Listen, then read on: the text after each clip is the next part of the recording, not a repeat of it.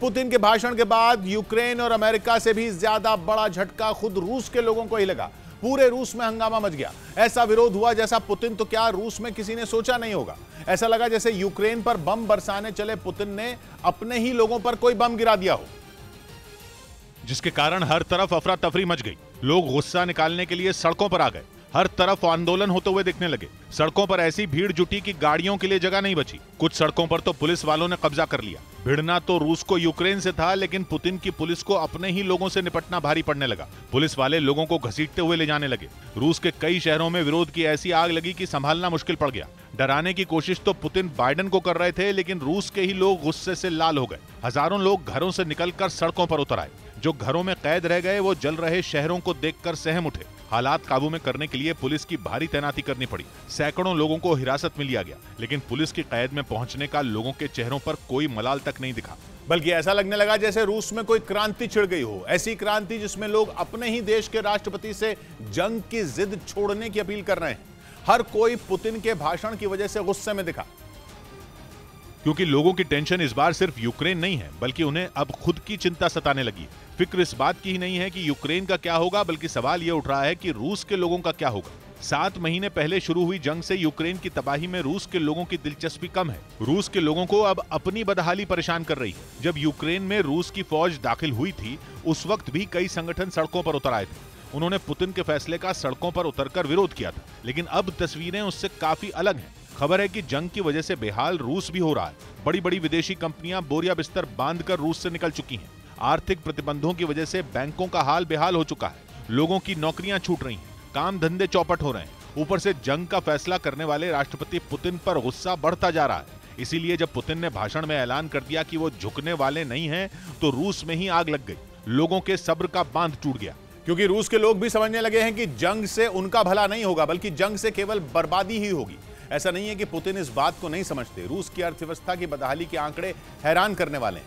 World bank का अनुमान कहता है कि मौजूदा कारोबारी साल में रूस की जीडीपी बढ़ने की रफ्तार माइनस में रहेगी मतलब जीडीपी बढ़ने की बजाय कम हो जाएगी।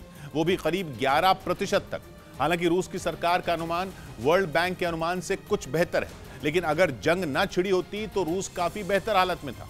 अनुमान यह था कि इस साल रूस की जीडीपी बढ़ने की रफ्तार पाँच प्रतिशत रहेगी। यह रूस की सरकार का अनुमान था। मतलब अगर जंग न शुरू होती तो जीडीपी विकास दर पाँच प्रतिशत रहती, लेकिन जंग की वजह से जीडीपी गिरने वाली है, वो भी 11 प्रतिशत। रूस के हर महीने आने वाले एक्सपोर्ट और इंपोर्ट के आंकड़े बताते हैं कि उसके चालू खाते को तीन गुना चपत लग चुकी है। एक्सपोर्ट और इंपोर्ट के अंतर को चालू खाता कहा जाता है। बेरोजगारी के आंकड़े तो रूस की सरकार जारी ही नहीं कर रही। लेकिन माना जा रहा है कि रूस में जंग के बाद से बेरोजगार होने वाले युवाओं की गिनती लाखों में हो सकती है। ऊपर से दावा यह किया जा रहा है कि रूस में महँगाई के आंकड़ों के साथ वहाँ की सरकारी एजेंसियाँ हेरा फेरी कर रही हैं। मतलब यह कि महँगाई वहाँ अभी से बेकाबू हो चुकी है, लेकिन सरकार सही तस्वीर दुनिया के सामने आने नहीं दे रही। लेकिन पुतिन जानते हैं कि बदहाली की तस्वीर को हमेशा के लिए छिपाया नहीं जा सकता। थोड़ी बहुत मदद जो रूस की अर्थव्यवस्था को मिल रही है, वो महँगे कच्चे तेल की वजह से मिल रही है। लेकिन वो भी स्थायी नहीं है। जिस दिन अमेरिका ओपेक प्लस देशों को तेल का उत्पादन बढ़ाने के लिए मना लेगा उसी दिन से पुतिन का वो खेल भी खत्म हो जाएगा। इसीलिए रूस के लोगों में बेचैनी और डर का माहौल है। पुतिन ने बस ऐलान किया ही था कि वहाँ भगदड़ मच गई। लोग रूस छोड़ने के लिए तैयार हो गए। किसी भी तरह से वो रूस की सरहद के पार निकलने के लिए हाथ पैर मारने लगे। थोड़ी देर में आसपास के देशों तक पहुँचने वाली उड़ानों में सीटें भरने लगी। बची हुई सीटों के दाम कई गुना बढ़ गए। लेकिन लोगों को कीमत की नहीं, जान बचाने की पड़ी थी। किसी भी तरह से लोग रूस से निकलने की जद्दोजहद में लग गए। थोड़ी ही देर बाद पुतिन ने एयरलाइन कंपनियों को सख्त आदेश जारी कर दिया। साफ़ कहा गया कि 18 से 65 साल के बीच के लोगों को टिकट न दी जाए।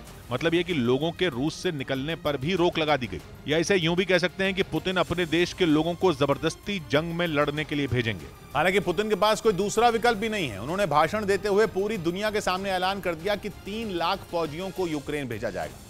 माना जा रहा है कि इन तीन लाख फौजियों में दो लाख रिज़र्व सैनिक हो सकते हैं। रिज़र्व सैनिक वो होते हैं जिन्हें केवल इमरजेंसी होने पर जंग के मैदान में भेजा जाता है।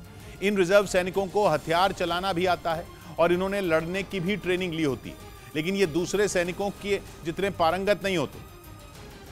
जबकि जंग की शुरुआत में जिन सैनिकों को यूक्रेन भेजा गया था, वो रूस की फौज के सबसे बहादुर सैनिक थे। उनमें भी पचपन हज़ार सैनिकों की मौत की खबर आ चुकी है। मतलब ये कि रूस ने अपने सबसे माहिर सैनिकों में अब तक पचपन हज़ार को खो दिया। सीधा मतलब ये कि जब वो सैनिक अपनी जान नहीं बचा पाए तो रिज़र्व फौजी उसी जंग में, उसी दुश्मन का मुकाबला कैसे करेंगे?